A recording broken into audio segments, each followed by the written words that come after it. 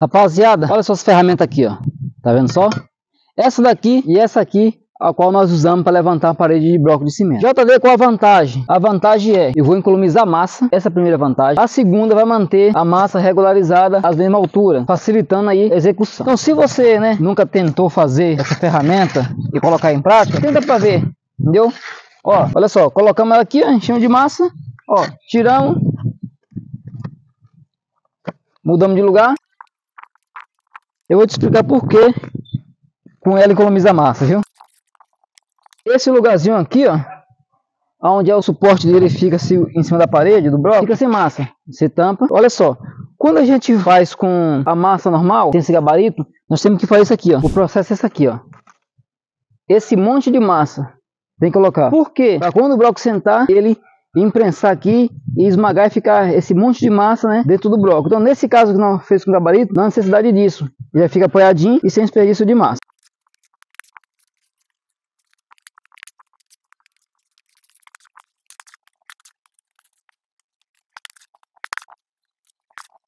Agora aqui, rapaziada, o processo é convencional. É o mesmo, né? De você não usar o gabarito, mas assentamento é a mesma coisinha.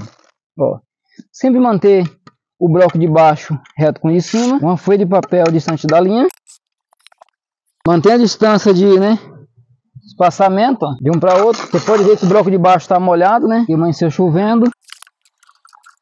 Esse aqui agora molhado também, ó. E aqui no final vai meio bloco.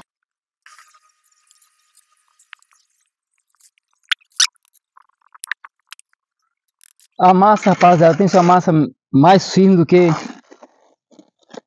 convencional, viu? Esse bloco de concreto é meio complicado, viu? Ele é muito pesado.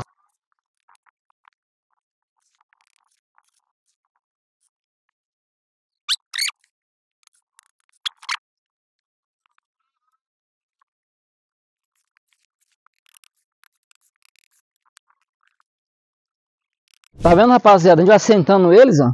E depois nós volta preenchendo, né? Entre um e o outro. Aí facilita, né? Ficar toda hora e enche, senta bloco, enche, senta bloco. E agora aqui, ó. Agora que tá certinho, vamos preencher entre um e outro.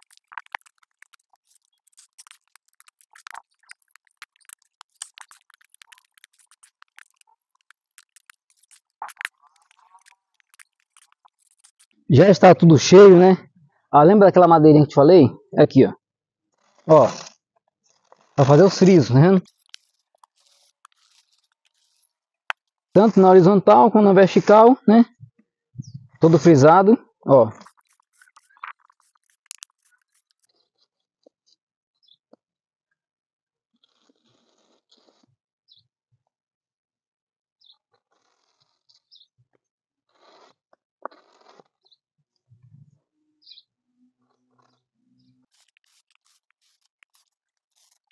Agora aqui com a broche mão, ó, faz isso aqui, ó, para tirar toda a rebarbinha que fica, né, ó, dá um acabamento, né.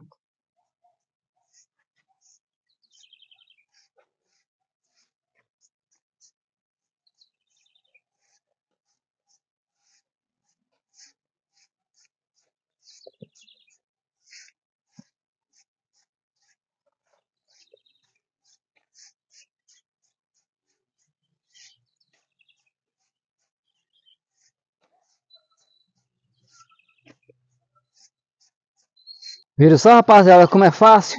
Ó, ficou top. Eu vou ficando por aqui. Se você não é seguidor, não perca tempo, passa a nos seguir. E compartilhe com o máximo possível de pessoas que você conhece aí na sua região. Forte abraço, valeu, fui!